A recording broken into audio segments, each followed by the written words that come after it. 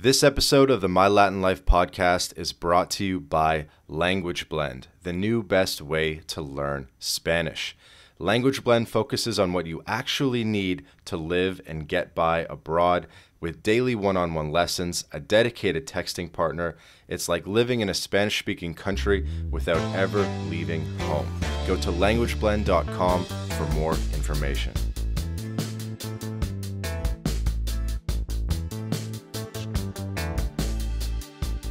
Welcome back to another episode of the My Latin Life podcast. Since 2014, My Latin Life has been your trusted guide to traveling and living in Latin America. Today, I have two special guests for you. I have Jake Nomada here, and I have our mutual friend Mauricio from Outbound Mexico, a leading tax and legal firm uh, based in Mexico City. Jake, Mauricio, how you guys doing? I'm great. Thanks, Vance. Yeah, doing good. Glad to be here, fellas. Awesome. We're doing a bit of a deep dive on the expat scene and, and controversies around being an expat in Mexico. And Jake, Jake Nomada, who uh, many of our listeners will know, recently went viral in Mexico, which he tends to do about every three months, uh, and uh, gets me canceled by association. Um, but but Jake recently went viral uh, talking about an exodus, a potential exodus of expats from Mexico. Went a little bit viral, and and Jake's hopped up to kind of talk about it and uh, his thoughts on the whole situation, everything. So uh, we're starting off with the tweet, talking about the tweet.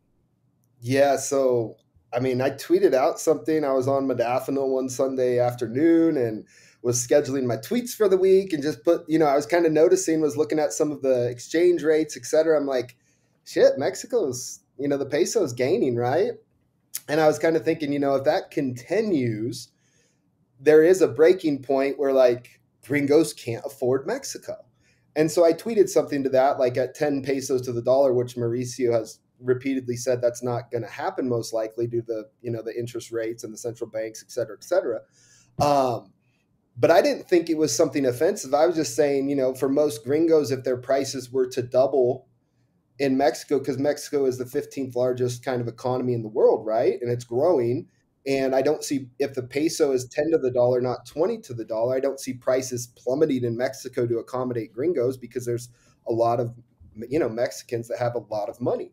And so I don't think those prices are going to go down in pesos. And so the whole point of that tweet was that you know, if a gringo is in Mexico spending three or four thousand dollars a month on their living expenses each month, and now they're spending six to eight thousand dollars a month, some of those people, and that's post-tax income, some of those people can't afford that. And and they're they might leave and they might go to other places down further south where they can afford. And I didn't, you know, when I scheduled that tweet, it was there was no intention to go viral. There was no intention to piss off thousands of people. Um, but that's what happened. So that's that's kind of the backstory of the tweet. Mm-hmm. And it's true that there is competition among vacation spots for most Canadians and Americans. You know, I feel like there's been a flavor of the month every couple of years. Costa Rica was big for a while. Dominican was big for a while. Mexican's been big recently, and with COVID and I guess just how open it is, yeah, that would obviously be the number one factor, just how open it was. Yeah. Uh, over the yeah. past couple of years since 2020. So Mexico's definitely reclaimed number one spot. Uh, nobody I talk to like wants to even go to the Caribbean. Everyone just wants, or like you know, a, a, random Caribbean island. Everyone just wants to go to Mexico. Yeah. So it's definitely the spot. well, I mean, and and it's interesting because yeah like you said i think it goes in waves with with travelers digital nomads whatever you want to call them right? Where there is a different flavor every couple years. Um, but i think the biggest difference recently has been mexico remained open during covid. And i think you know for me personally and for a lot of people which is a very small subset of people visiting and living in mexico that was a huge deal to see like you know this country is basically standing up to some of these international powers and saying we're just going to keep doing what we do. And you know i think a lot of foreigners really gained an appreciation and a respect of the country and of the culture due to that fact that they were a little bit quote unquote i don't know rebellious. Is that is that a way to put it mauricio? Um, I, I wouldn't call it that but sure, yeah. Yeah, I mean, and it, it obviously was by state, right? Like there were certain places in in Mexico, like the United States, that did. I mean, I, I remember back in 20, the entire rationale of keeping it open was not some sort of libertarian political debate around what what should be done around mass food on the table. Yeah, it, it was thirty percent of Mexico's GDP is associated with tourism. So I mean, what what you're just going to shut that down? I mean, all these families they live in the informal tourist economy, selling stuff at beaches. I mean, right now, I'm at uh, Ixtapa, is so cool, and um, there, there, yeah, there, there's so many uh, families that live off it. So, what you're just gonna throw them under the bus? Uh, no. So, mm-hmm. so, so yeah, I don't think. But but Americans confuse that, especially the Twitter folks, and so they, they, they anything that aligns with their political like worldview, um, kind of like fits mm-hmm. into that, and so they kind of spin it. Uh, the the Mexican government was just so much. Uh, it was there, there was a, so such a large backlash back in uh, 2020 and 2021 over why they didn't they they they, they shut down the country for for tourists mm-hmm. and um, from from the from the from the Mexican perspective. And so what then started happening in, in 2021 is that all these nomads really came into Mexico and so that converged. I was there, bro. I was yeah. there. We yeah, were there, yeah, bro. You, you, you were there. You bro, he was sick. Yeah, yeah. and so that converged with inflation, and that that created kind of a, a situation where locals really got pissed off, saying, "I mean, but I think I'm getting kind of ahead of my." But that's just kind of the background of mm-hmm. how we how we got Right. And it's funny. So, tourism, 30% of the economy, exporting is huge as well. Both of those two things would favor a weaker peso. peso.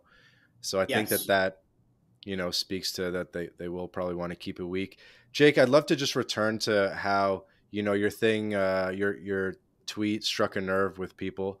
Um, what were some of the impacts of that? What what kind of feedback did you get? Oh, yeah. the, oh uh, god, the, the hate was horrible.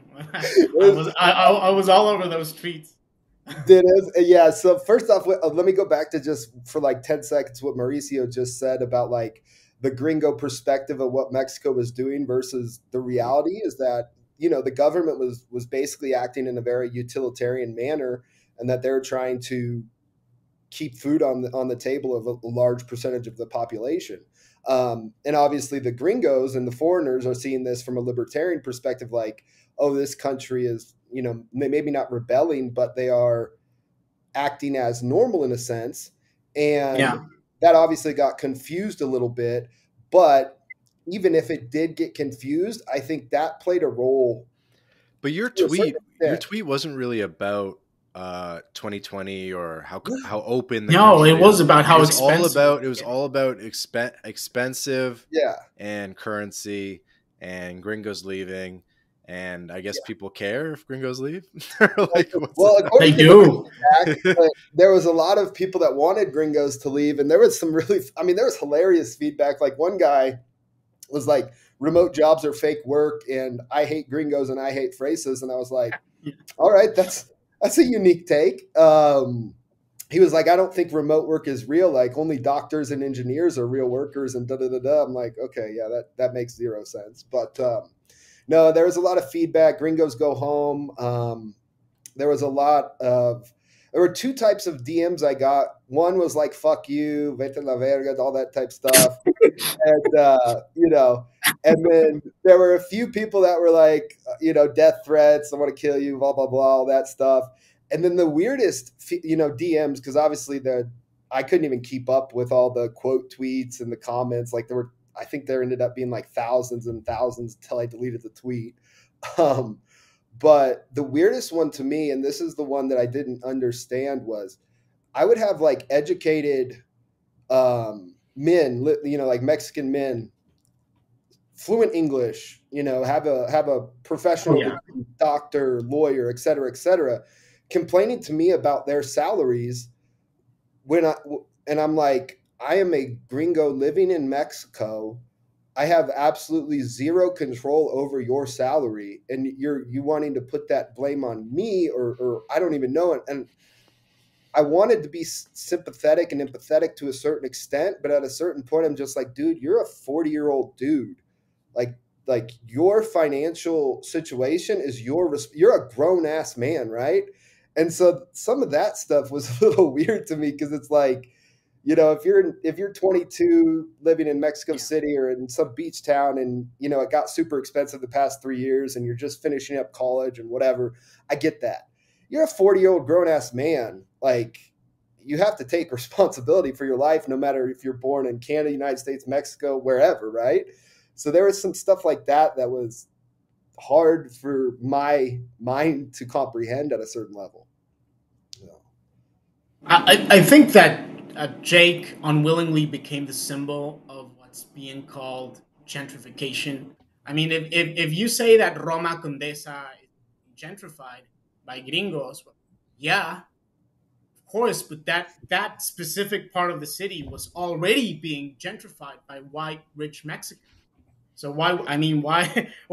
what's the big fuss about? The, the, the, people complaining about gentrification, and this is what I was talking with Jacob. Is, is this this you know is like upper middle class liberal urbanites that you know somehow feel affected by this. But but mexicans from all other parts of life are, are not really complaining about this.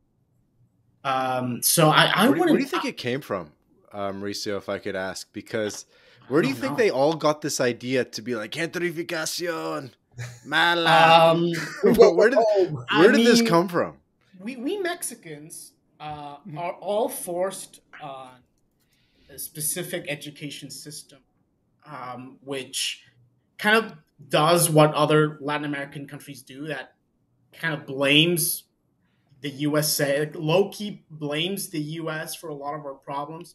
Which we can have a debate over that. I don't want to get into that. That's a huge topic. that um, night, yeah. yeah, that might be a whole different podcast. Um, but it's kind of, I mean, it's it's kind of nailed into our heads, our, our in a small age, that gringos are not to be trusted. And so, I mean, so? we need, really? we, yeah, yeah, of course. I mean, politically, they're not to be trusted. We like them in a in a in a personal kind of kind of kind of way because they're cool. You know, uh, we we like their media, we like their kind of culture, um, but we don't really like them coming here and engaging in economic activities because that's that's somehow equivalent some sort of exploitation of, of, of, of a poor country and society. And so it's kind of a mixed feeling. We, we we love their dollars. We love them coming here and showing interest for mexican culture and and investing here. Uh, uh, but at the same time we don't we don't want to want them to integrate so much into Mexico because that somehow is a colonizer experience. It's it's a really weird political yeah. mentality um, that that a lot of guys have here, and and and you know, I, I think Jake unwillingly tapped into that without him quite knowing what he was getting himself into because there's yeah. if, if you guys follow Spanish Twitter like Mexican Twitter this is huge. I mean, the, I mean, the, the gentrification debate is huge in there. In the, is it? Yeah, it's, it's, huge. I mean, everyone's talking about that. Yeah. Um, but but again, uh, what I'm really uh, amazed is that there hasn't been a direct interaction until Jake's tweet. The, the Mexicans were not interacting with the gringos although they were living in the same city or the same country until now, and and that was a very violent. And, yeah, and, and, and when yeah. I mean, the way I put it, uh, I want like one of the when I, I woke up the next morning after the tweet went out and I checked, I'm like, holy shit, I got a lot of notification. And so I actually started responding to them. I didn't think it was going to go so viral, but it, you know, there were like a couple hundred quote tweets and I started responding to it, and there were like, like you said, like these white. Uh, I don't think fra- "fresa" is not a derogatory term, is it? Yeah, no, no. I mean, in, in Mex, we Mexicans like to think that there's no r- racism in Mexico, but that's just a bunch of BS. And so I think you can use white. Okay, okay, yeah. So there's like a bunch of like white Mexicans, very good English levels, right? Commenting yeah. on it. And I was like, man, like these people are acting like a gringo renting an Airbnb in Condesa is the return of the conquistadores. Yeah, exactly. exactly. People too. And I was like, I, you know, the gringo comes down, rents an Airbnb for two or three months. Mexico City, what you know, eight times out of 10, that's where most of these remote workers that don't have a lot of experience in Latin America are deciding to live for two or three months. And it was like a freak out. And like you said, Condesa, Roma Norte, Polanco, which Polanco is not really that affected, but those places have been like quote unquote touristy for probably a decade now, maybe a little bit longer. Um, because I had friends living there when I first started traveling in 2014. And so that's not like really anything too new. The new thing is that the rents have gotten so much that the the Fresa white Mexican girls or guys that are parents are giving them 25 or 30,000 pesos a month to go live in Mexico City during university can't afford yeah. it anymore. Exactly. That, yeah. That's who it's affected by, right? And so it was interesting to see like but then it's funny because in a lot like like I said the guy that was saying no we hate fresas too he, you know if there's no gringos involved that kind of anger sometimes goes towards the the classes in Mexico, right? But when oh yeah, yeah, is mad at a gringo, then everybody's mad at the gringo, and so that's that's kind of why it was funny. Yeah, I mean the the which I mean the the the common folk um, would would say you know we we hate the fresas and gringos, uh, and then the fresas are no longer at the upper echelons of society. They're they're they're no, they're, they're no longer the ones with with with with more like capacity to spend money, um, which is which is a trend I think we'll see a lot in the future. I think I, I personally think gringos are going to be the next some sort of economic elite in Mexico, um, especially the ones that stay in and and, and, and, and do business here, uh, because they know they have access to a lot of international connections that Mexicans simply do not. And so, and so, uh, yeah, and, I think that, that, that, that's going to happen. And, and, and, Mexicans see capital. that coming. And Mexicans see that coming, and they don't like that. And yeah. uh, the, the, the Fresas see it, and, and they, they, they see this as their country, as their turf. You know, you can't yeah. just come in and take it. Um, uh, so I, I think that that's the under undertone of this whole thing. I mean, what's going to happen with Mexican integration in North America. It, it's it's a debate that runs. It's going to integrate more. It's going to integrate even more. Uh, you know, I mean, a lot of our yeah, a lot of our clients are having their kids. I mean, just look at Jake. Yeah. Um, I mean, so they're going to stay, and, and and then then what's going to happen? They're, they're not just longer uh, tourists. They're they're part of a society. Yeah. So how, how, well, well, and it's interesting too because you know they're I kind of did some research on it. Like Mexican economy is is the 15th largest economy in the world, and I think those trends moving forward with more nearshoring, more manufacturing. Obviously, the tourism sector has blown up, and I don't. I mean, I don't see that slowing down. Like there's there's a real case in the next what I mean. I'm not an economist, so correct me if I'm completely off base. But there's a real case Mexico is a top 10 economy in the world in the next like 10 yeah. years. Right? So it's like there are there is a lot of money in Mexico and there are a lot of wealthy people. Um, you know, so it's on one hand, there are going to be more gringos here and, you know, there is going to be some gringo money coming in. On the other hand, there are, it's going to create a lot of opportunities in, in many industries. And those, those wealthy Mexicans are going to capitalize on that. Uh, yeah if they have some gringo partners, et cetera, et cetera, like they're going to capitalize on those those opportunities. So it's it'll be interesting to see how it plays out. But I do think your point of there are a lot of gringos um, living here now, and they are starting to integrate far more into Mexican society, I think, than they mm-hmm. used to because you it's know people are relationships, yeah. people are having children, people are purchasing real estate, planning to spend six to 12 months a year here, et cetera, et cetera. Um, and, you know, it's, it's, it's going to become similar to, I think certain parts of Mexico long term will become similar to certain parts of, of California, Texas, those southern states where I mean, it, it, it, already does. Yeah. Look at Monterrey, San Pedro Garza Garcia, some parts of Tijuana. I mean, it's it's it's all American, you know. It looks American. Yeah, yeah. I mean, you're, you're going to see that mesh of where you might, I mean, I don't know the timeline, but in 10 to 20 years, somewhere in Texas might feel and seem very similar to a similar style city in Mexico that's been yeah. unquote, gentrified, right? Like it, you're going to see that that mix, and and I get the issues some people had with it, but on the other hand, to be upset at a you know, a gringo being upset at a Mexican that they're in California or Texas, or a Mexican being upset at a gringo that they're in Mexico, it's like the reality is our governments are the ones that have the control to put a stop to that.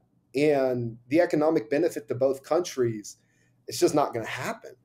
And it's out of the control of me, you, or any other person, you know, individual, right? So yeah. it was kind of a, a weird argument because I'm like, mm-hmm if you really hate me, go go talk to the government and kick me out. Like the government can just say all foreigners have, you know, it's not that difficult. But there's just so much economic benefit to both countries. It's it's not going to happen. Yeah, I, I think a valid debate around this because that's always the argument that these people put out is they're not paying taxes. That's that's that's the main and and I would say neither are you. I would bet that neither you're paying no one in Mexico pays tax. I mean, that's uh, th- th- that would be my first counter argument, and and the second one is, you know, th- they do have a point. I mean, be- because the the current tax structure in, in in North America is not designed. Remote work and then the new things that we're seeing were never in, in the scope of these guys. I mean, um, it was already always thought that you would make your income in the same place as you would live. Of course, that was obvious, uh, and and and that's not the case anymore. So, well, and I was doing some research on that. I was like looking at some of the VAT taxes and the hotel taxes and Airbnb taxes. I'm like, Mexico does a pretty good job from a government level of getting tax money from tourists on a tourist oh, yeah. visa like, you know, they Airbnb know tourists are going to stay in an Airbnb yeah. or a hotel. They have a tax on that. They know, you know, VAT tax, et cetera, et cetera. Like they they do do a, a decent job, if not a good job, of getting tax money from the tourist industry.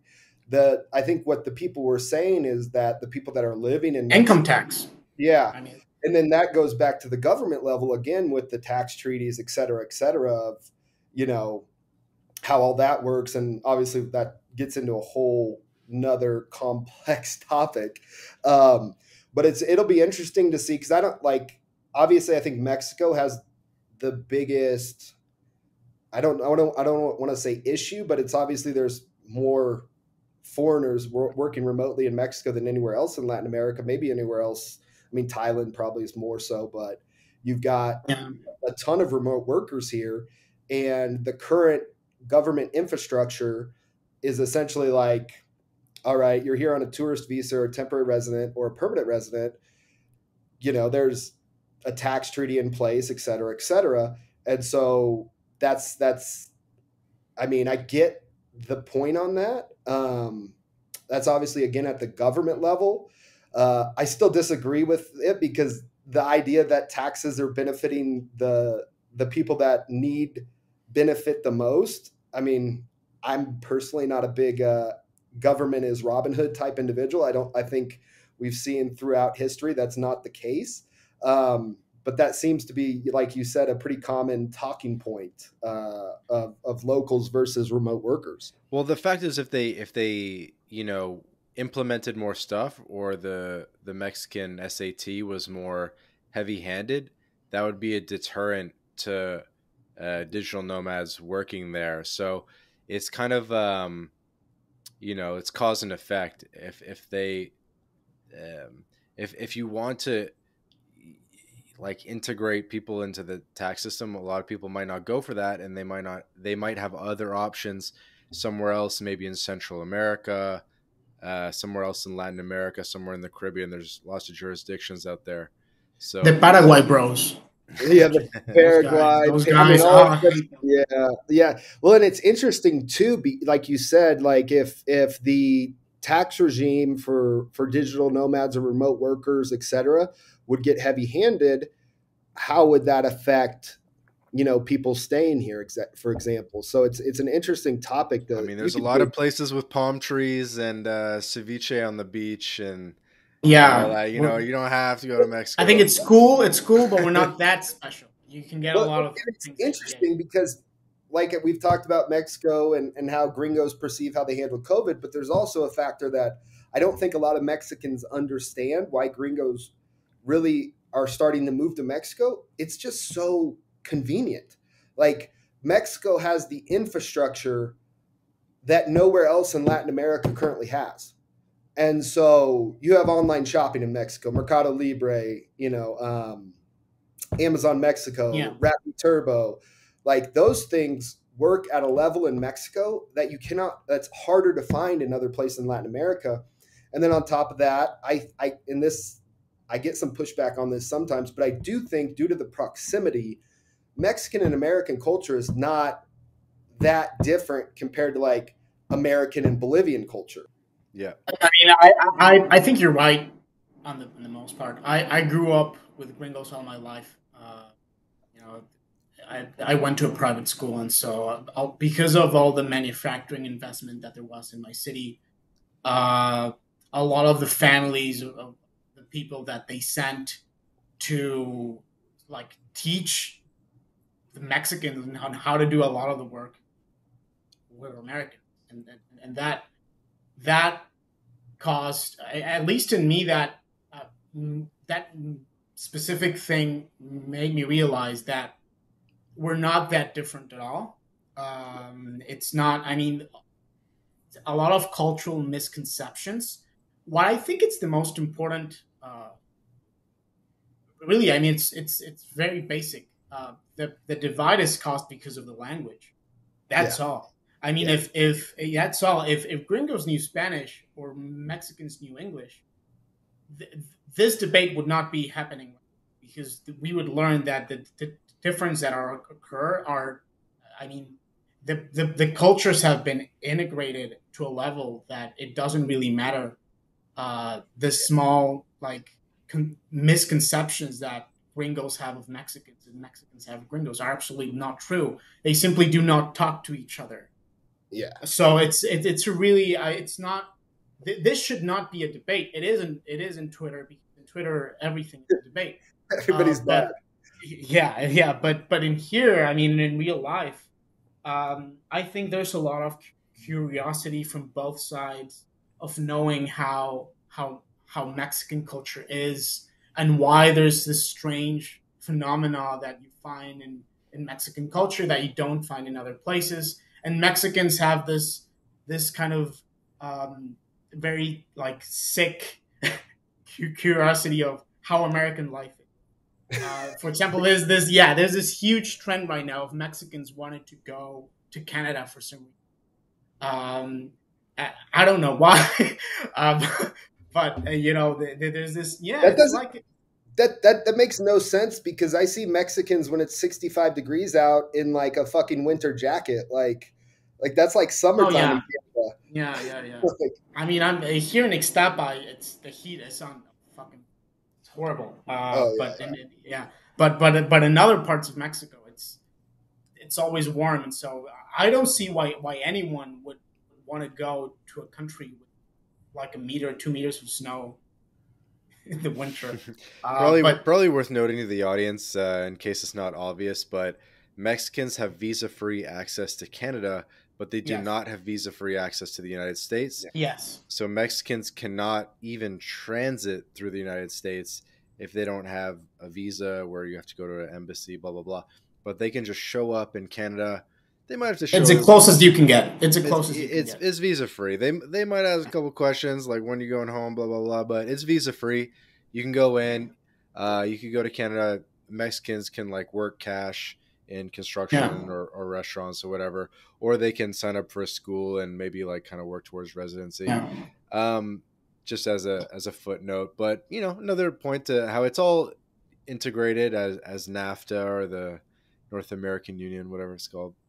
Yeah. Mexico is, is, is at a special place with no other Latin American country is uh, precisely because of that. And so, uh, you know, this this there's always this saying that we we we, we Mexicans say we had a dictator called uh, Porfirio Diaz back in the 1900s, ending of the 19th century, starting in the 20th century, and he said. Uh, pobre México tan, tan lejos de Dios y tan cerca de, de, de Estados Unidos.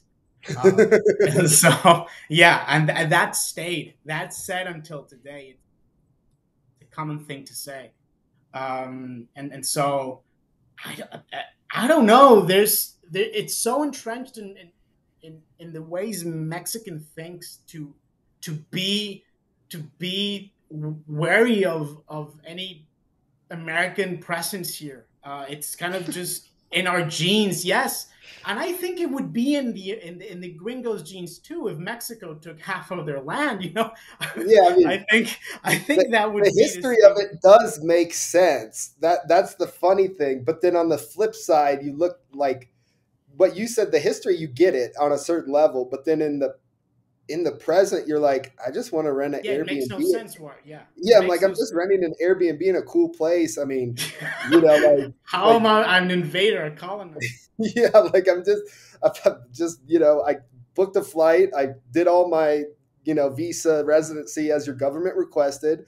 I booked my Airbnb, paid my VAT tax, and like, I just want to enjoy life in your country because I like it. and but then like, I do understand the other flip side of the coin where like you said, although it is a, a small coin because like tourist beach towns, Condesa, Roma Norte.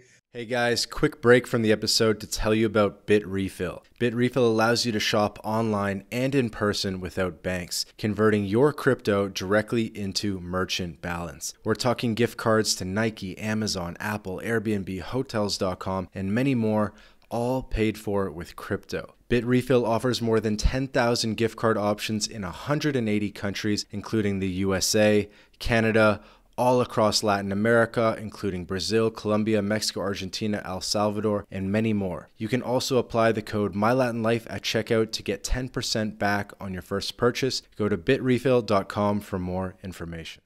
Dude, I, yeah. I saw a video from a white gringa the other day uh, from uh, San Cristobal and it was the classic like white gringa liberal like oh they're so friendly. Oh they don't have much but they they're so happy. And i'm like oh my god. Be shut the fuck up. Just shut the fuck up. Like, like just classic like like gringa gringa bullshit. I was like oh that that's not helping. I think that the same thing is going to happen to oaxaca. It's it's already happening now. Yeah Every, everybody wants to move to oaxaca Oaxaca's like one of the highest poverty rates in all of Mexico, one of the poorest states in Mexico. What better opportunity for the state of Oaxaca than to leverage its natural beauty, surfing, food, whatever, and become tourism friendly for Americans? They'll make themselves richer in the process. They'll enrich their land. They'll build buildings. Like where where what's what's up? I don't know. I think Mexicans don't want to don't want to don't want to be rich because some gringo came to visit. I think it's a, it's a matter of pride. You know, there's a reason why Mexico has this huge flags all over the cities. It's a, we we are a proud people. Like 59 languages spoken in Oaxaca alone. I mean, no, for sure, for sure. I'm not. It's it's yeah, I know. It's it's it's and so they don't want to, you know, have gringos come in and that be, be the sole reason of, of why they develop. They want to have manufacturing and high tech, and they they want to have this sort of industrial development that it's it's it's it's in other parts of Mexico. It's not in Oaxaca, and I would argue that the impact of tourism as a way of developing an economy is mm-hmm. is is not that certain. I mean, if you look at Cancun, for example, Cancun is huge, millions of dollars pour into Cancun, Billion. And then you go, and yeah, and then you go to the suburbs of Cancun, and they're just as poor as as Oaxaca. So I, I I think Mexicans are they like tourism, but they understand that it's not it's not a silver bullet. You, they, they, you need other things. And it's interesting because, like you said, there tourism is a part of the economy in Mexico, and it does benefit certain individuals. And then, it, like you said, though, that's not. It doesn't raise the economic status of everyone. Yeah. Uh, but it's interesting because I do understand why some people say like, well, I live here and I'm I'm not wealthy and I'm involved in tourism, et cetera, et cetera. But a lot of those front facing tourist businesses that gringos see, uh, for example, last time I was in Cozumel, I booked a tour um, to Chichen Itza, right, in Tulum, like the whole day tour. And it was just with this one random Mexican guy. He had his own company, right? He had a, a website, Instagram, and a, and a tour bus and he charged us like I think it was like 500 for the day for three people, and uh, it was like him, his daughter, his wife, and then they had the expense of gas and the you know they had some expenses, but like we see that and we're like, well, that dude's probably making a hundred grand a year, right?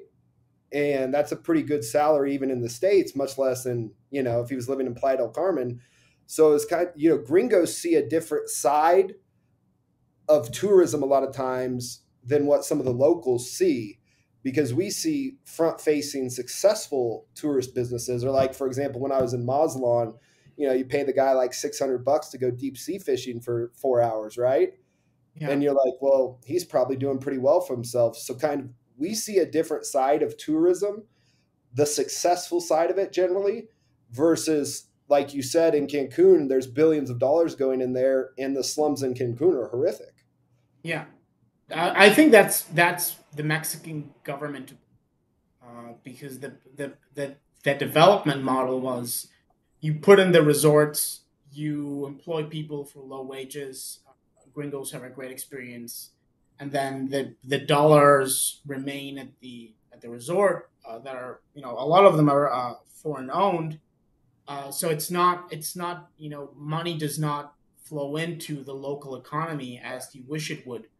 Uh, in Oaxaca, I don't think that's going to happen. I think uh, the the model is different. Uh, gringos don't want to go to resorts anymore and stay. I mean, a lot of them do, but uh, but but uh, a lot of them want to go and experience the culture and talk to the people and walk around and buy some shoe, uh, whatever, and try the coffee or the food and and you know and, and maybe st- spend a couple of weeks I mean, live a more local experience, say. Mm. Um, and that that I think will be very beneficial, especially for cities in Chiapas, in Oaxaca.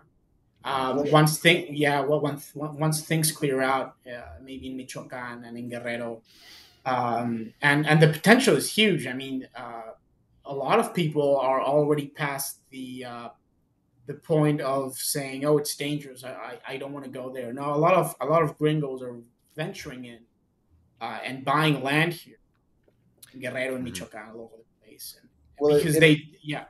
So it, I think that's going to be very ben- beneficial because they're suddenly, you know, employing people for higher wages. They're actually investing in the land in the local.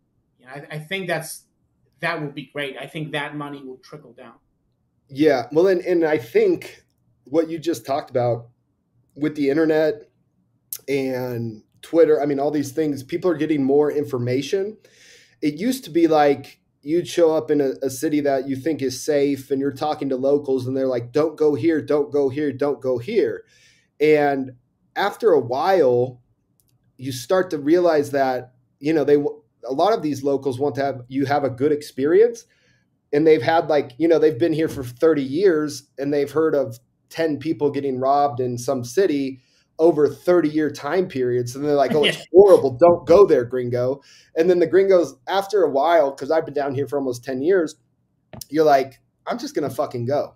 And you go and you have a great time. And you're like, it didn't feel any different than yeah. other city, right? Mm-hmm. And yeah, so what, yeah. a lot of people sure. that have been down here for a while are starting to get a little more adventurous. But what you were talking about just now with Chiapas, Oaxaca, Guerrero, uh, Morelia – um, Michoacan, is I think a lot of foreigners, and I think Mexico is going to start to follow this a little bit more, is kind of that ecotourism model that Costa Rica implemented, where it's more less of the resorts, less of the partying, less of the I'm not going to say it, but uh, you know, you know what I'm talking about, and more of that like conservative ecotourism model, um, where that does actually have a, I think, a more benefit to the locals because it's not these mega corporations coming in with you know five star hotels and 300 rooms. It's a little bed and breakfast in the mountain. So I think if Mexico kind of goes down that route in certain states, that could be a pretty big benefit for many of yeah. the locals. Yeah, I, I, I absolutely agree with that.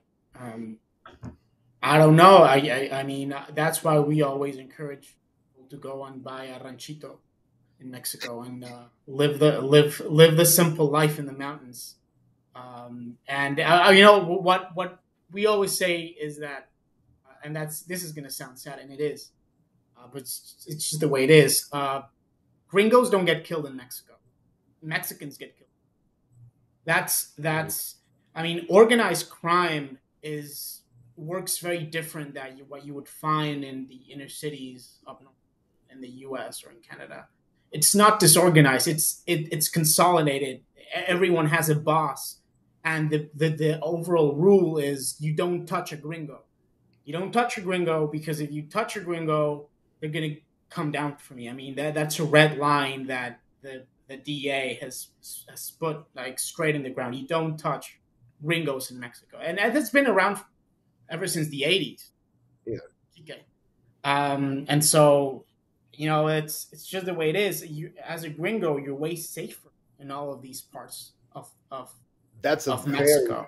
That's a very interesting point, and I and the average Joe in Mexico, you, you, I mean, no one's going to touch you. They I bet because Mexico is so surreal uh, that they will actually try to meet, maybe even do some business with you. I, am literally saying this. Yes, we've had crazy cases of people that uh, move to Guerrero or or this this places that are you know a hellhole for that an absolute no go zone, and the narcos there see them and say, yeah, we're not Of course we're not going to touch this guy. We might as just as well make some business with him. It's, yeah, that happens. It's interesting you say that because I literally had a conversation at jiu-jitsu in, in a in a Mexican gym one time. Um, basically, the the local guy he was he was a white Mexican upper class, and he was kind of like, yeah, I mean, he's like, you see the statistics, you don't seem to give a fuck. I was like, no, nah, not really, because he spoke fluent English, and he was like, yeah, the reality is, you're safer here than I am. And I was like, what?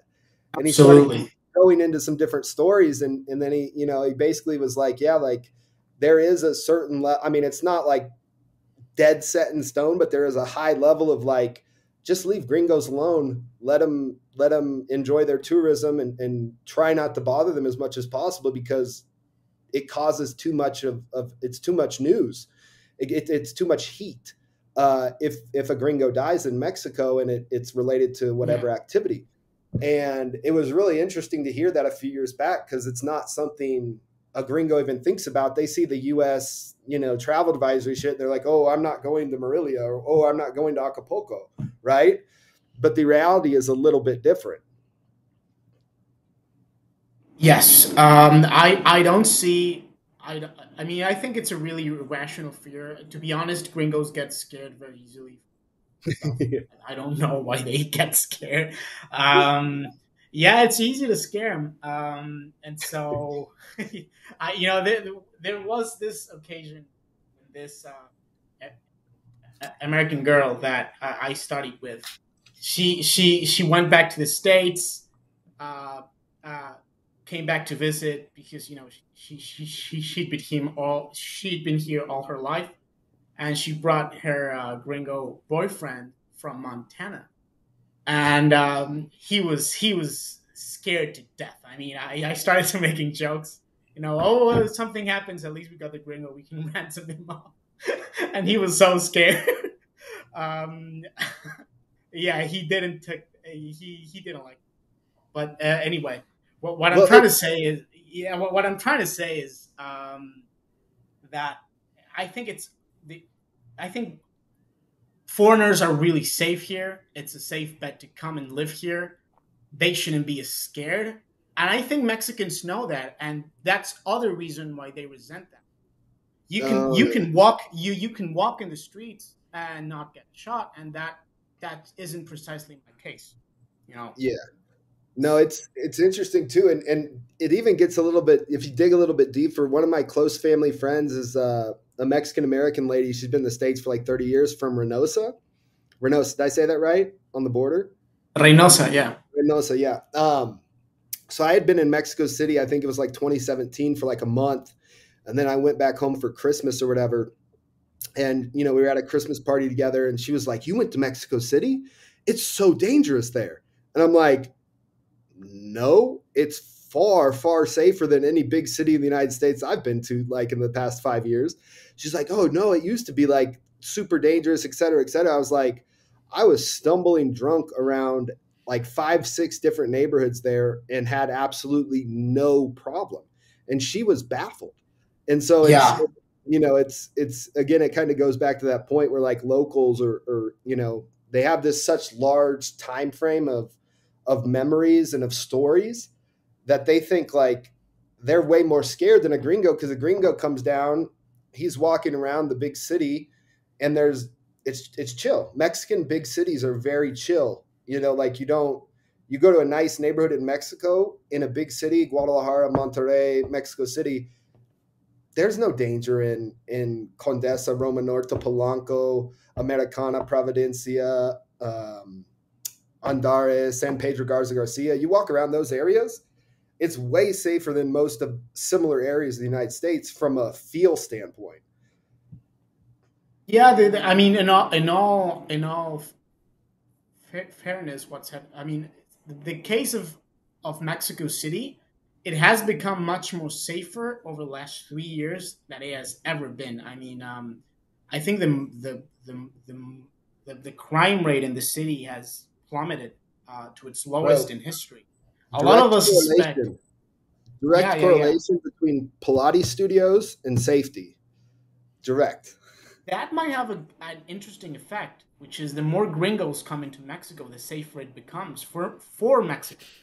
Uh, I don't know. I don't know if that, if that would be a thing, um, but uh, you know, I, I, I- certainly think that uh, what's going to happen over the next years is that that effect um, won't last. To be honest, you know, as as as gringos integrate more into society, they will take more risks. They will live in neighborhoods. Um, and so I, I don't think that tr- trend will remain. And quite honestly, um, you know, I think it's going to be similar as to Brazil, uh, which is that uh, crime is not as consolidated in Brazil. And so it's easier, you know, to, to, to, uh, you know, uh, like, like do petty crime to a gringo, right? Uh, and get, getting away with it. Um, something that is sure. Go ahead. So I have a question about that because yeah, Brazil and even in certain parts of Colombia, although Colombia has been changing rapidly, you know Yeah. there is more street crime than there is Yeah. in Mexico.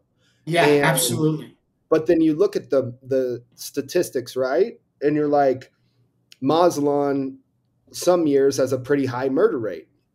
But if you, you know, I've been there in times like 2018, I think it was like the 37th highest murder rate in the world, and it was pretty chill. Like there was really yeah, no, because because not everyone's getting killed. I mean, the, the guys that are getting killed in Mazatlan are the guys from Jalisco that try to get into the plaza and and, Yeah. and, and, and get into the turf of the Sinaloa cartel, and so they get killed. That's the, the, those are the guys that are getting shot, not your average American buying a Starbucks. It's not. It's, it's not. It's, it's not just not the case. Uh, Yeah. So data can be really d- d- deceiving. Um, I think Vance uh, made thread a Twitter thread, and then we kind of copied that some some months ago about the the the chance of an American dying. I mean, the death rate for Americans in Mexico, mm-hmm. and it was I think it was something like it was like two guys. It was like yeah, two two it people was, died. It was like two out of two million. It was something so absurdly low knock, knock that I was like, I was like, there's no way. I was. It was so. It was. It might have been like sixteen max over yeah. a whole year of millions of tourists. And when Americans are touristing in Mexico, that's not a normal week for an American. Like they're they're normally going hard and doing dumb shit. And so when you have like millions of Americans going hard and doing dumb shit and like only 16 people die, it was lower than if they stayed at home, I think. Yeah, oh yeah. Yeah. I think your chances of dying in an in an airplane crash are similar to your chances of dying if you if you was that what that was the size of the risk. It was 0.0040 something. Dude, it was so low it didn't make sense. Like if you if someone just looks up number of Americans that have died in Mexico or number of Canadians, it's like you you would have almost thought that retirees would have just, you know, maybe passed away in, in Mexico at a higher rate. You know what I mean? Dude, that's such a good. And the funny thing is, right? All like boomer gringos have that impression Mexico's super dangerous, right? And I, have got some kids down here, and my mom started visiting like every two months. So the first time we got her to visit, and we weren't like at a resort in Mexico, right? She was like stressed, right? She's like, "Can you pick me up from the airport?" Da da da da da. I'm like, "All right, yeah, you don't have anything to worry about, but all right." Now she comes down. She's we're going to like quote unquote a dangerous beach town in Mexico like every time she comes down and she loves it. And she's like, "Why do people say it's dangerous here?" And I'm like, yeah, it's it's Mexico where the street crime is not the same as the violent crime, which is a certain subset of society. And now that she understands that, she's just way more comfortable down here. Hey, everybody. Hey, everybody. Quick break from the podcast to tell you about Language Blend, the best new way to learn Spanish. Language Blend was co founded by Jake Nomada, friend of the podcast, decade of experience in Latin America. And Jake and his team, they put everything into this program that they wish they had in terms of how to level up quickly with your Spanish language skills. Because the faster that you can get conversationally fluent in Spanish, the better the experience that you're going to have in Latin America. So go to languageblend.com for more information. Hmm. Yeah, I think that that all adds up to. I, I think it, the the conversation naturally went into security. Um, I think that Mexicans absolutely know that. As I said, they resent that. Uh, it all adds up. Uh, and so, to be honest, I don't know what's going to happen. Um, Nobody I, does. I, I, don't know what's going to happen. I think gringos will keep moving here. I think they will keep spending money. A lot of them are going to have kids here. We know like five couples that you know decided to open a fondita, a barber. I mean, these are small businesses. They're, they're not. They're, I mean, but they had they didn't have the money to do that in the states, like open their own thing. But they do have it here, um, yeah. and so a lot of them are becoming small business owners. Um, I, I think that's a trend that's going to continue. They're going to settle down, have their business. That business is going to grow, uh, and they will slowly but surely become integrated into into Mexican society. And the security, the dynamic is going to change for them. Um, and so, yeah, I, I, I saw a, a, projection from the State Department that they, you know, they they they expect the gringo population to reach over five million by 2040 uh, something really in Mexico. Yeah, five million living like five million, which is a it's percentage less than two right now. I think. Yeah, it's a it's a percentage of the population. That would that's be like chunk. almost like four percent of the population, right? That would be like four percent of the population. I mean, this this is a voting block right there. You know, it's it's it, yeah, it's gonna be crazy. So, um, you know, at least I know I'm in the right business. Um, but, but but others, you know, no one's really happen. Uh, I think that the first step would be for all these gringos to aprender un poquito de español y saber qué pedo. sí. Uh, sí, and and and that would be a good first step. Well, and I think it's interesting too from that perspective. bef- before remote work really took off, it was mainly like retirees that were moving to Mexico in their 50s and 60s, right? And if you hear those gringos now, they still speak horrible Spanish. Like it's like, you know, yeah, but they were old. Yeah, yeah. But I think you have a new subset of, of, of these remote workers that are taking Spanish far more seriously because they do have the idea that they're potentially going to integrate in society and live long term in, in Mexico or some of these other Latin American countries. And so it will be interesting. Nobody really knows how that's going to play out. Where, you know, like Vance and myself, I have like a B3 level Spanish, maybe a C1, depending. I think Vance is pretty similar in that we can carry on hour long conversations in Spanish. You know, my my girlfriend doesn't speak a lot of English, um, and and we we are we understand the benefit and the value of, of speaking Spanish and living in these countries and and how you can actually develop friendships and we should make a podcast in Spanish. I think that would be great. That would yeah. that would explode because Mexicans don't know English. It's a very small percentage. More, more Argentinians know English as a percentage of the population than Mexico. Which so they want to yeah, and so they want to know. They they want to know what gringos think. Uh, yeah. They just you just can't. So uh, yeah. yo, yo lo haría en español. Sale.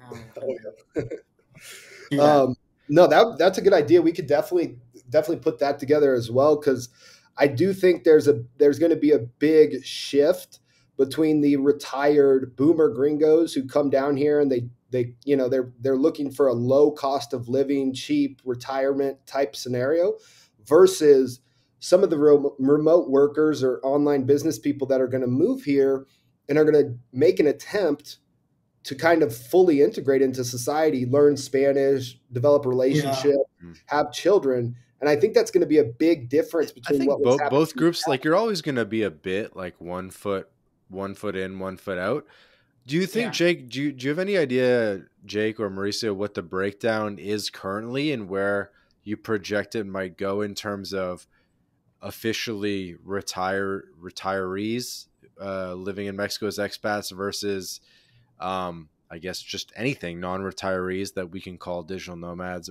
Like, do we have an idea of what that breakdown is yeah. currently, and then what what we expect in the future? I I do. We just finished the market research for a huge medical uh, tourism resort that's going to open uh, hope hopefully next few years. Yeah, yeah, yeah. It's going to be big. Sick. Maybe I, maybe, maybe, I shouldn't be saying this. I signed it. Uh, yeah, it's, it's gonna be it's gonna be pretty big, and um, we think it's gonna be almost half and half. Um, sixty percent is gonna be uh, retirees. Forty percent is gonna be younger people.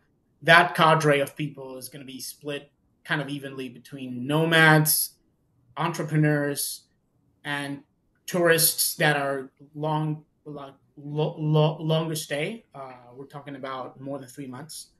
Um, and I, I think that's going to be the ratio, and it's going to be so huge between, because boomers are retiring in mass. Yeah, I mean that's growing too. Yeah, and so th- just that huge demographic by itself is going to displace the entire other percentages uh, because it's it's millions and millions of people that have a lot of savings and they're so bored of the states. A lot of them are politically paranoid and they're all sick. And so it is it has all converged so that they move here of some sort. Yeah well and, and and that that's a huge industry that's i mean taking off like crazy i mean the stem yeah. cell stuff in mexico Oh yeah, got to be a hundred million dollar yeah. more market. I mean that you you yeah. got the guys in Tijuana, Puerto Vallarta. I mean it's all over where all the every single like tourist beach town in Mexico has a state of the art stem cell clinic at this point. it's kind of like like pretty high level stem cell clinic. It's kind of crazy to think about. Uh, I've got stem cells in Mexico myself, so it's it's interesting. But um, no, I, I, think, that isn't that banned in, in the U.S. It's yeah. I, there's a. I don't know. I, I'm not going to get into the specifics, but there's a certain style of stem cell that you can use in Mexico that I think maybe cannot in the United States. So that's why people are like, "Fuck it, let's go to Mexico get stemmed up." And uh, It's yeah, it's like the gym bros that come here. J- Jake get is their, all, integrating all his Mexican drugs. cells. yeah, I've got those Mexican stem cells, man. Part of it's part of the uh, the naturalization naturalization process, man. You got to inject Mexican stem cells. okay. Drink Coca Cola now. Dude, I, I did Coke Zero though. Coke Zero, man. Come on. I don't live in Chiapas, dude. I, I can't. I I see that statistic about Coca Cola in Chiapas, and I'm like, oh my god, that is crazy. That is absolutely crazy. like it's it's if they so did a study about the, the population around the world that most drinks Coke, I think Chiapas would be up there in the list. Oh, It's got to be top three. Yeah, like it was. R- random question: Do they make any rum in Chiapas? Make a rum and Coke? I feel They like it's do. enough to make rum. They do. My my my grandmother grew up in a sugarcane plantation in uh, Chiapas, well, close to one, and so they do great. They do grow a lot of sugar, and so there's sugar, there's liquor. So I think, yeah, I Everyone I. I, I think Guatemalan rum is Yeah, yeah, that's like the national Uh, drink down there. yeah. Uh, I mean, I'm, I'm because- partial to Nicaraguan rum. I think that Flor de Caña, that's that's good. That's yeah. that's premier. That's Yeah, premier. so Chiapas is not big on rum. It, I mean, it's mostly moonshine liquor. It's funny because it's on the border of Guatemala. Yeah, so the, the the weather is similar, but somehow I don't know why um, there's no rum industry. It's not it's not just a big thing. There's a large We're gonna have to Totonayan dig into that. We're gonna have to dig into Yeah. that. that's Hmm. interesting. Yeah. Guys, Yeah, I I wanted to uh to take this moment to my announce uh my candidature, my candidacy for the governor of the state of Veracruz. I'm gonna run. Shut up! I'm Shut up, man! for governor. You're you're really you're really pushing some buttons so the people of Veracruz yeah. don't want to be yeah. They, they, they, they don't want a, a gringo I'm gonna Let's let's let's announce that on the uh, the And- Spanish version of this podcast. Yeah, and we have a local meme here in Mexico, which the Veracruz people are all like, like fishes and, and, and crabs, and it's it's it's kind of a local thing. Run. Wait, what? a- Uh, a can you, can you gym. break this down? Yeah, there's this meme thing going around in Mexico because Mexican memes are the best memes in the world. Once you get. Spanish memes, yeah, Spanish Um, language. Spanish memes, memes like- are much better than American memes. They're so lame. Um, uh, and so there's this joke going around that because Veracruz is a state that kind of stole all the seas, you know, from from the other states. Uh, it's so long, so it, it, it covers most of the Gulf of Mexico. Mhm. That all the people of uh, Veracruz are somehow descendants of fish. It's it's it's it's, it's a stupid thing, and so they're all crabs uh, or or some sort of, of sea life. Um, kind of, yeah, and so uh, hi. you see memes when when they see you know there's like this painting and there's a guy eating like I don't know crab or a jaiba or something. Y, yo pensando en mi futuro, and then there's this fish saying y un pinche jarocho or so something like that. so, and so it's a it's a dumb thing. It, it's a thing. I, I wouldn't run for the governor. Veracruz, it's a pain in the ass. You don't want to go to that state. Po- politically wise, it's it's a mess. That's the that's the funny thing about Veracruz. I've I've known like four or five dudes from Veracruz uh, through just like jiu-jitsu and stuff, and uh, every one of them, as we weren't, we I've never been to Veracruz, and I ask about Veracruz, and they're like, they're like, don't go, it's awful, blah blah blah. And then I talked every single foreigner I talked to that goes to Veracruz, like Veracruz, is pretty sick. Like, it's a pretty cool place. Yeah, And so it's a weird thing where like the locals that left aren't huge fans, but then the foreigners are like, no, Veracruz kind of cool. yeah, it's it's great. Uh, the port, it's so beautiful. It has this Havana vibe because the buildings are old and it's it's it's yeah, it has this Cuban vibe to it.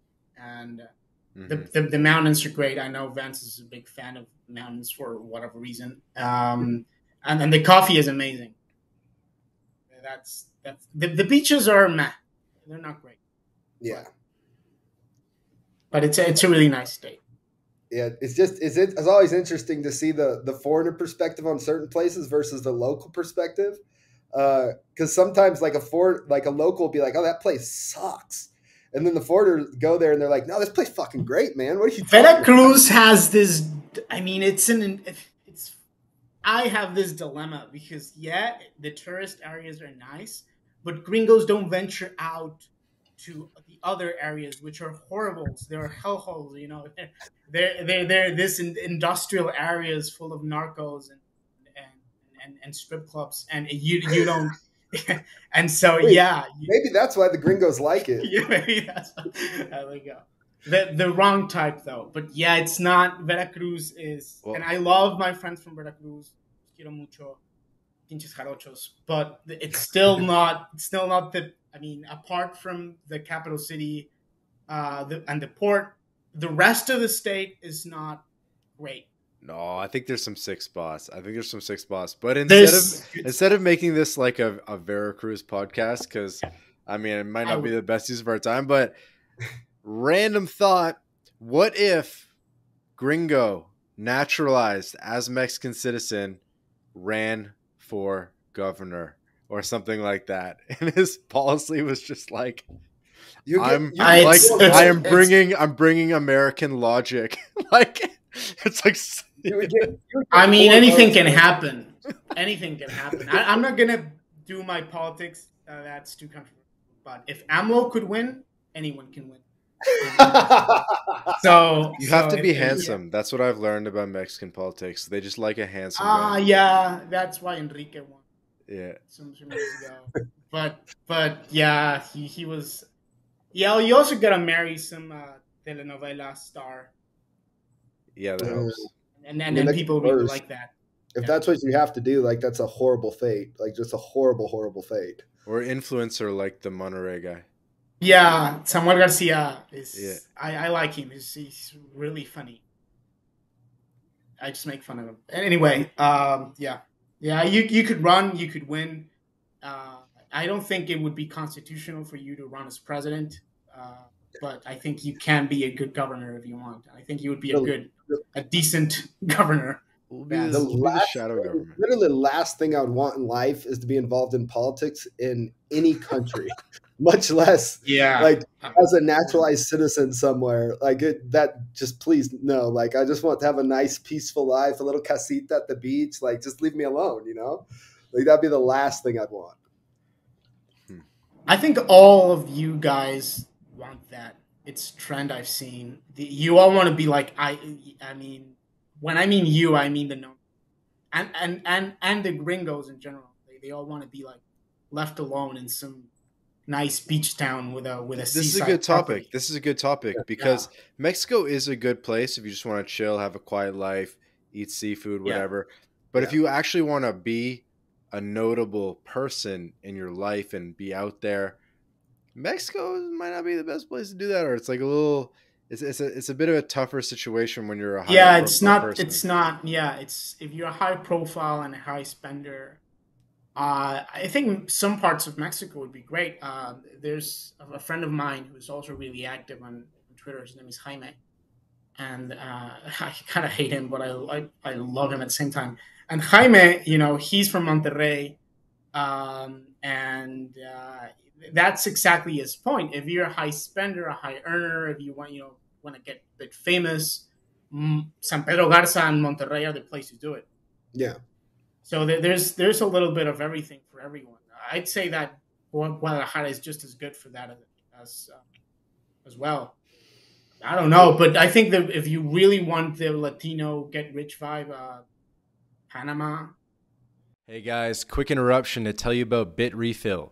Bitrefill is the best way to convert your crypto into gift card balances. These are gift cards that you can spend at hotels.com, Airbnb, Nike, and many more. You may remember Joel Valenzuela, previous podcast guest. He's been living on crypto exclusively since 2015, and he's a big consumer of Bitrefill. And so I asked Joel, I said, What do you like most about Bitrefill? He said that he likes the instant delivery, the precise amount so that you don't have to juggle a lot of gift cards and he loves the global selection. Nobody else has this much selection of gift cards, over 10,000 gift card options across hundreds of countries. Go to bitrefill.com to sign up, and you can also use the code MyLatinLife for 10% back off your first purchase. Go to bitrefill.com for more information. Yeah, I mean, I, I think a lot of gringos that move to Mexico, like you just said, kind of just want that like casita by the beach, integrate with with the people that are living there, have a chill life, make a little money online, you know, have their kids, their girl, whatever. And that's I think a lot of the what a lot of gringos are looking for to a certain extent. I don't think most gringo I mean, I don't know any gringos other than the ones that are famous on YouTube or whatever want to come down to Mexico or Latin America and be famous or do this or that. They're just like, no, nah, it's cool down here to chill. The people are friendly. The vibe's yeah. good. So I think the vast majority, and that's I think where a little bit of the confusion is when when I got some of the the anger I did. I'm like, I like your country. I like your culture. I like your food. I like your people. And I'm just living a chill life here. Right. And so it was kind of that was the biggest thing for me is like the desire of the average gringo living in Mexico versus how some of it is viewed, which was a, was one of the most confusing things. Um, I wouldn't pay much. I mean, m- most Mexicans love gringos. They oh yeah, yeah. Uh, we we absolutely love them. We buy the Twitter. food. Twitter, Twitter Mexicans are different. We, I mean, it's to, to, to, Twitter. To, the, the Twitter liberal Mexicans uh, because they can't be as cool as them. That's really the reason. Um, and that's that's just wait, wait, wait. I, I think we're winding down here, but let's do bring up the biggest difference that I noticed is the left wing Mexicans or Latinos versus the left wing Westerners because it's oh, completely oh, different. Now commencing the segment, fifty percent chance I'm going to have to cut out. But uh, Jake, uh, please continue. I, I, I, I, can't. I, I can talk about the Mexican left, but I, as a Mexican, I can talk about the. Although I, I know it well, uh, I have yeah. my opinions, but I, I don't you, think it would be wise to talk about. Give me the thirty second Mexican left wing point of view, and I want to see if it if correlates with what I saw you know, with all the because that's who it was on Twitter, all mad at me was left wing Mexicans, ninety five percent or whatever. So let me let okay. me hear your take on that.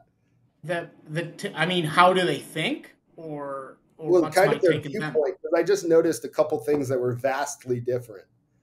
I would say that the the typical uh, leftist Mexican guy would say something like Mexico has been exploited and denied its economic growth for centuries because of the U.S. And the U.S. does not want to have a strong and powerful Mexico. And so there's this kind of idea, this kind of plan that uh, you know Mexico must me permanently uh, must must stay poor for us to exploit its resources and its cheap labor. Um, and so gringos mo- mo- moving here are kind of riding that wave of privilege, and um, and they're perpetuating the exploitation of, of Mexico and Mexico in general, which has been pillaged. Uh, my view of that is that you know these guys are idiots, and if they if they really wanted to do something for Mexico, instead of complaining, they would actually go out and, and do something. I mean, we have a lot of problems that are caused because we as a as, as Mexicans really need to get our shit together and and work some solutions. And this idea that this is there's some external force that's denying us access to that, I, I think it's not realistic. So that's it. Yeah. Yeah, that that was definitely the biggest thing I noticed is that the left wing in Mexico to a certain level was very nationalist. Like, oh yeah, yeah, Absolutely. right? Like they were like Mexico for Mexicans, nationalist, you know, like foreigners, et cetera, et cetera. Yeah, state owned. Yeah. It wasn't like all the weird shit in the States. Like you didn't see all these trans this, you know, open borders this, et cetera, et cetera. There was a huge difference, even though they were clearly like a kind of like a liberal left wing vibe, but they were nationalist. Whereas in the States, completely. Were, yeah, the right is a patriotic one. Uh, and yeah. there's this. I, I, I, as a Mexican, don't understand those debates. I, I think I'm getting ahead of myself. I should, but I don't understand at all. I mean, one side is accusing the other side of, of, of wanting the other side to post eating bugs or something like that, and, and everyone else. I mean, it's it's it's crazy that the level of of debate you guys, and so you know the, the, the globalists and all this rhetoric. I don't. It's it's beyond me how you could your left and right fell into this debate. Yeah. Uh, it, it, well, it's completely flipped from like the '90s in the states. Like in the '90s, the the what do you want to call them, left wing or uh, Democrats or whatever, were like anti-government, anti-corruption, da da da da, and then yeah. it, you know it's completely changed, and and so it's interesting. But it was it was just crazy for me to see the the Mexican or the Latino side of that and see how different it was versus the the psych the crazy shit we have going on in the states. Yeah, I don't know if it's similar in Canada, but at, at least in Mexico, we, we get really uh, it's we don't understand the your politics at all. It's really hard for us to to we we don't either. I don't, yeah. I don't understand our politics uh, at this point. And that's it. And and and it's for for if if it's hard for Mexicans to understand U.S. politics, it's almost impossible for a gringo to understand Mexican politics. Yeah. It's absolutely impossible. Um, so I, I wouldn't even try. It's a no. failed attempt. well, like I put something out like I because I, I, I had mentioned it one time at jiu-jitsu like oh AMLO's cool like he kept Mexico open da, da, da, oh shit like, oh all, shit all the upper class Mexicans are like fuck that you know all oh, mad at AMLO and I'm mad at me and I'm like all right I'm not gonna say that anymore like yeah don't don't do that you're not gonna get killed because you you started some Twitter brawl you're gonna get killed because you started talking about AMLO that's you don't do that. You don't do that. No. Yeah. No, and, yeah, and, and elections are coming like, up, and it's going to be a tough year. Yeah. Everyone no, gets. No, no, I'm definitely, definitely won't be saying that ever again. Yeah. Hmm. Of course. Well, uh, cool. some, if some if I had to, uh, yeah, yeah. So we'll start wrapping up. Um, would love to switch gears a bit. We're just here, Jake, once again. So I mean uh, you went viral in Mexico, kind of bringing it back to how, how we started things off at the beginning of the episode. Um, how did you grow from the experience? What have what have been uh, some of the aha moments or the um, some thoughts that you've had uh, from your recent viral experience? Yeah, I mean, I never try to go viral, so it's not like I'm I'm trying to go viral or you know i was in like fucking Milenio and all these all these famous tiktokers and like like they're like 15 news articles i was very happy that Milenio put a good photo of me like that was fantastic um but reality of it was like i don't want to go viral and i'm going to try not to in the future uh, because i just i there's no benefit uh, for me or for most gringos to like go viral in, in a country you're not a, anywhere really, but in a country you're not a citizen of. Um, so the, that was one of the things. And um, I mean, a couple of the bigger ones were like the differences between the left wing and, and Mexico and Latin America versus the States.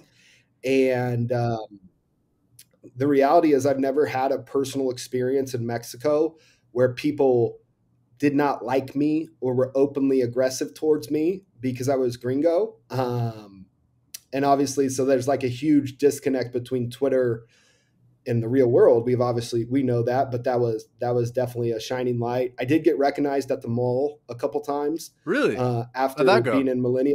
How'd yeah. that go? How'd that go? Uh, literally, the, the first time the first time I was walking with my kids, right, and I see like these people pointing at me, there were these these two young girls and these two guys, and the one girl was pointing at me. And I look over and they're all like looking at me, like, you know, like looking at me and whispering. And I'm like, oh, fuck. Like, you know, they clearly saw one of those TikToks or those articles and they're like, oh, there's the bald, semi muscular gringo. Like, you know, and though I don't like it because a few of the people like purposely had bad translations of what I said. And I was like, that's bullshit. Like, you know, because I'm saying basically if prices double in Mexico for gringos, a lot of gringos will be forced to leave. And then some dude on Instagram's like, this gringo says all Mexicans are poor. I'm like, that is not what I said at all. and so I, I didn't I didn't feel comfortable getting recognized because I didn't know if they read like, you know, a few of the articles were pretty fair, but then there were some bullshit translations. So I was like, eh, I'm just gonna get in my Uber and, and head back home after that. So that's uh, that's how that went. Hmm. I think you could be a great Mexican influencer. I think a lot of people would follow you. Yeah.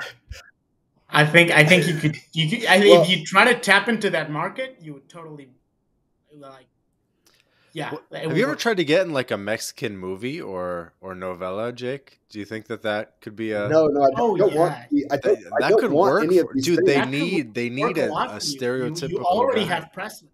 You, you, already you already are. Yeah, be like the fucking. Just like run some steroids, be like the John Cena of like Mexican I, I, movies, and I, like, I know. Yes, yeah, yes Mark Wahlberg. Yes, yes I know. Oh look, it's the, it's the, it's the gringo with the shitty shitty Spanish accent in our movies. Oh no. I, no, I know there's this American guy that really I mean couldn't get his career of, of, of the ground in the States, but he tried in China and now he's in every Chinese movie and he plays the American dude. And um, yeah, the, the the bad American guy. I think he could do the same. Oh, I could definitely do the same. I got like the bald hair, the muscles, like I'm everything. Yeah. The you know, it's funny you say that. I had a friend like five years ago. We were living in Bogota, right, in Colombia, and he he spoke fluent fluent Spanish, and somehow he got connected with a producer there for a, a big TV show, and he ended up playing the like bad European for like two years on this TV show, and he would get recognized in like public all the time because it was a pretty big show, and and his take was like that is awful and so I don't want anything to do with that. I actually have a TikTok video about Monterrey. And I said, like, you know, it's got that norteño vibe. It's got a very strong Mexican norteño vibe. And that pissed off like a thousand people. And they're like, oh, you're saying that's negative. I'm like, no, I, am just kind of saying that a lot of gringos, not myself personally, go to gentrified beach towns in Mexico City, Condesa, Roma Norte that's not what they like. Me personally, I don't have a problem with it, but it pissed off a lot of people. So I was like, all right. Hmm. And so if I had to kind of conclude a little bit, sounds like everyone agrees that uh, the trend is only going to continue, both of retirees and of younger people moving to Mexico, and maybe the uh, the rise in the Mexican peso in the past year is uh, somewhat of a temporary deterrent, I guess, but doesn't doesn't impact the long term trend of continued uh, Americans in Mexico, yeah. and of course of probably continued integration of Mexico into the uh, I don't know the financial system, the economic system of of North America, and everyone's going to continue being best best cousins. Yeah. yeah well, like kind of yeah, like a forced friendship no one wanted it in the first place, but now we.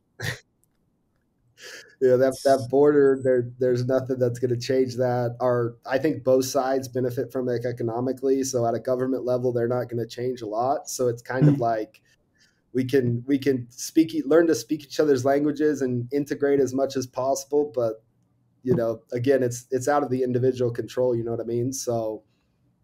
I think that's that's the biggest thing. And overall, I mean, I think a lot of at least my audience and, and Vance's audience, and I think most of your clients, Mauricio, they like living in like foreigners. They like living in Mexico. They like living in Latin America. They're choosing to live here. Um, yeah.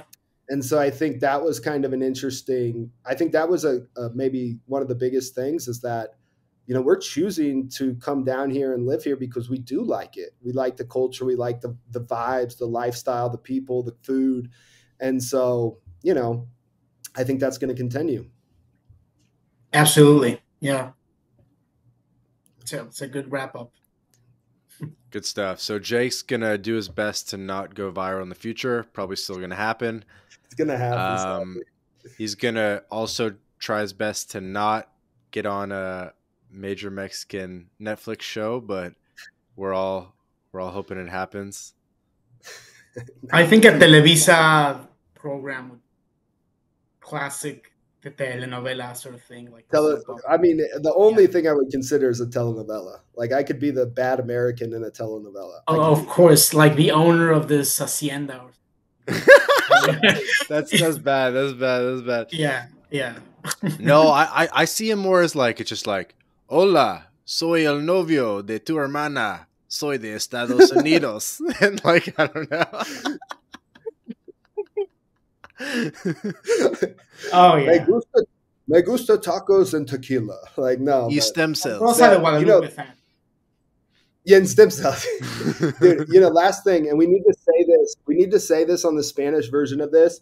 Gringos have this conception of Mexico where it's like tacos, tequila, beaches, and and violence, right? All these, all this bullshit. Those, to me personally, are not the biggest things in Mexico. The biggest thing as a foreigner when you live in Mexico, the biggest culture shock is how many fucking topes are all over Mexico. and different That's- styles, that's- different styles. There's like Oh. eight styles of topes. There's oh no, bro, there's that. There's not a style of tope. I, I actually know this story for some reason. It's it's sad, but it, it's like Mexico in a nutshell. Um, there was this factory of Mercedes Benz, this huge plant in Guanajuato some years ago, and they were they were um, trying to build this this this German car that would be exported to Europe okay. and um, they couldn't test it in Mexico because of the topes, right? It was so its height was so low, and so the the the German engineers said, "Okay, that's fine. We can elevate the the height of the car a bit, but we all, all we need is the standard tope size of Mexico, like this German idea that it was, you know, it, there, there has to there has to be a standard tope." And the Mexican engineers came up with this uh, study, and I don't know what. There's 58 types of tope in Mexico. Is that true? Yeah, that, that is not bullshit. There's 58 types because every municipality and if you don't has its own kind of design. Wow. So they kind of summed it all up, and they sent Germany this this huge file with 58 designs. At the end, the car was not built here. They they they shut the plant down. It was impossible. it wasn't viable. Yeah, and and Yeah, for I- people like a five billion dollar car plant in Mexico was shot down. We didn't know the tope size. There was no standard tope size. And and tope is speed bumps for anybody that doesn't speak Oh, yeah. Spanish. So if you if you own a car or rent a car in Mexico, you will quickly get acquainted with the pure quantity of topes everywhere. I, I I'll tell last story, then we'll go. Uh, I went to Palenque to see the the runs down uh, the runes down there, and then we drove the car from Palenque to uh, Yaxchilan. You know, you have to get on the boat, go down there. It was a two hour drive, and the topes were so prevalent on the way back. I counted them in a two hour drive of like 100 some kilometers, there was like 160 some topes. Like literally every kilometer was a tope. And so that's that's my uh, that's my Mexican tope story. Um, you know, I've seen I've seen people put topes in front of their houses because they don't like the you know anyone can put a tope. Speeding. Yeah, they- Yeah, Well, that's yeah, the yeah, thing yeah, is- yeah, yeah. Just put them anywhere, right? Yeah, So you put it, it's- you, you put them in front of the street and you say, well, es que aquí aceleran mucho, pinches. So, so that's that's that's what you do. You put a tope, or you fill this paint bucket with concrete. That's also a way of doing it, and you put it in the middle of the street. And so that's also a way of making it slow down. Now you have an obstacle. Yeah, that's the thing in Mexico City. yeah, the Yeah. it's it, it's it's definitely a change for foreigners that come to Mexico Yeah. and start driving. It's it's a unique Yeah. Okay. the tope culture. All right. Well, uh, any any last thoughts, conclusions? I want to go to the beach.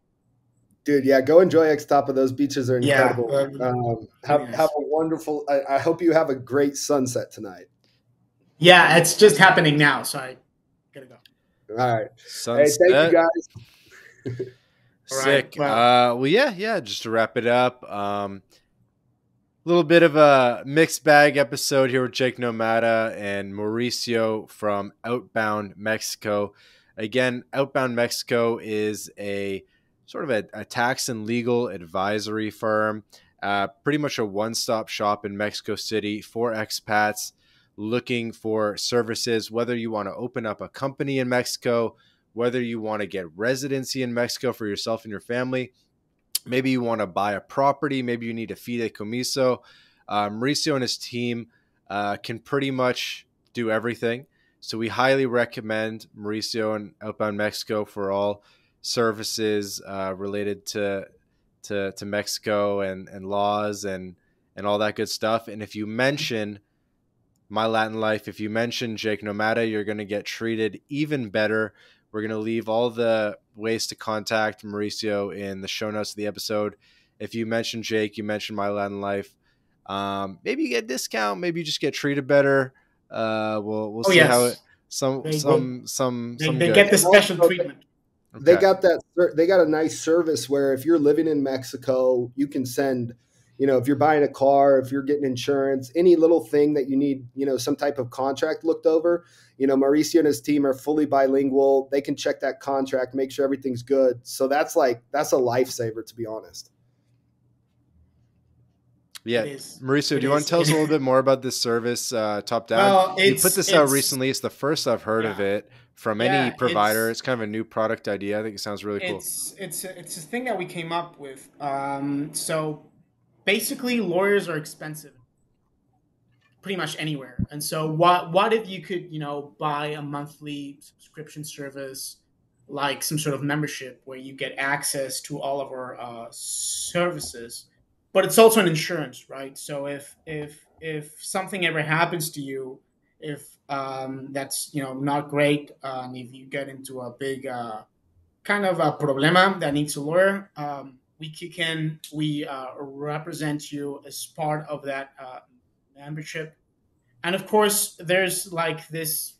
There's we we always encounter this the same 200 questions of people that that, that come here uh, regarding taxes, regarding property, regarding uh, opening a company, et cetera, et cetera. And so we built this very handy guides that are in English uh, for you to kind of know what's up in Mexico, for you to know um, how to how to you know move around and and and and and, and be safe um, in any way. You know, not just uh, physically safe, but legally safe um, and to reduce your taxes as much as possible, etc.